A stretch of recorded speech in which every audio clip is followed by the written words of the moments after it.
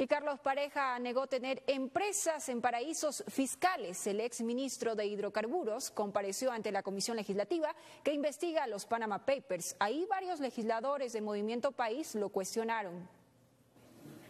El exministro Carlos Pareja Yanuseli llegó a la Asamblea, primero para negar que tenga empresas en paraísos fiscales y luego para explicar su participación en la contratación de la ampliación en la refinería de Esmeraldas. Es un proyecto que está generando dinero, es un proyecto que está ahorrando importaciones. Esta no es la convocatoria a la cual ha sido citada.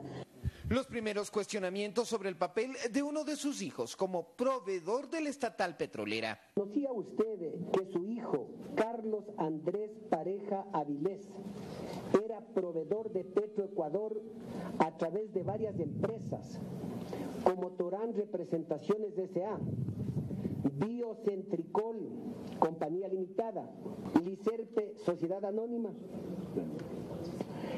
Eh, esa, esa, esa, empresa no, no, tiene relación de proveeduría. Hace ciertos, eh, es una empresa de, de videos.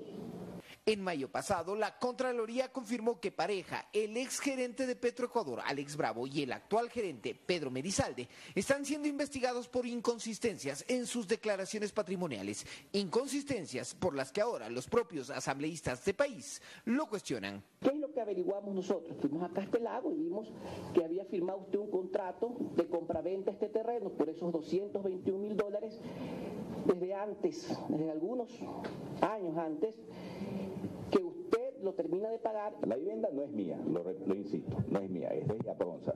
El terreno, sí, hicimos lo, lo, los, eh, eh, la compra inicial, o sea, pero que no se pagó, por eso no se inscribió. Cuando se terminó de pagar, inscribámoslo ahora sí, y ahora sí que sea, que sean mis hijos los dueños y, y empiecen la construcción. ¿Usted se las donó a sus hijos?